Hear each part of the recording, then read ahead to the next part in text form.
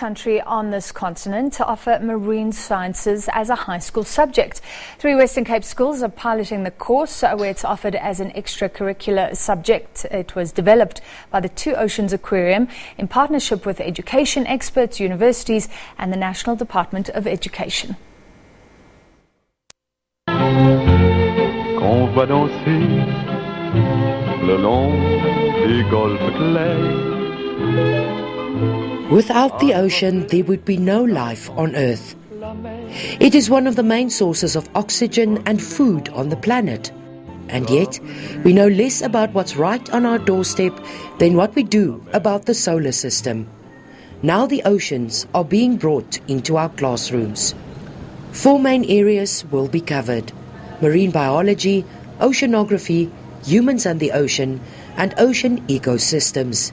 This has more of a spin around the careers that you can take for oceanography or marine biology or even maritime law. All of those relate to the subject that we are offering.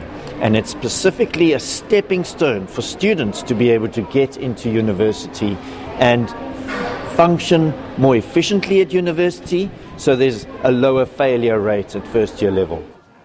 Teaching started at one of the three nodal schools, South Peninsula High, last week. Children from neighboring schools are also welcome to join. I have a deep passion for marine life and just wildlife in general, and I enjoy the oceans and stuff like that. I would like to learn about marine life and all the different creatures and everything to do with the ocean because I love the ocean. Well, mainly because I love fishing and uh, a lot of recreational activities that involve the ocean.